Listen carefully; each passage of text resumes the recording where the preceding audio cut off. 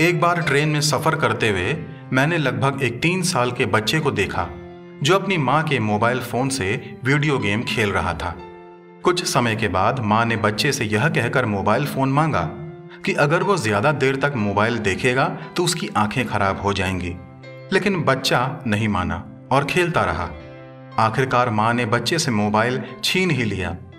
जैसे ही उसकी माँ ने उसके हाथों से मोबाइल फ़ोन लिया, वो ज़ोर ज़ोर से चीखने और रोने लगा और उसको शांत करने के लिए उसके पिता ने उसकी माँ से कहा कि उसको फ़ोन दे दो और उसकी माँ ने उसे वापस फ़ोन दे दिया और बच्चा पहले की तरह खेलने लगा। मैं आपको याद दिला दूँ कि वो बच्चा तीन साल से ज़्यादा का नहीं था। उस बच्चे को देखने से लग रहा था कि उसके अंदर माता पिता का कोई डर है ही नहीं। और यह बात उस बच्चे के लिए बिल्कुल भी ठीक नहीं है। मित्रों, आज इस बात को हर माता और पिता को समझना बहुत ज़रूरी है कि बच्चे को अनुशासन में रहना छुटपन से ही सिखाना है।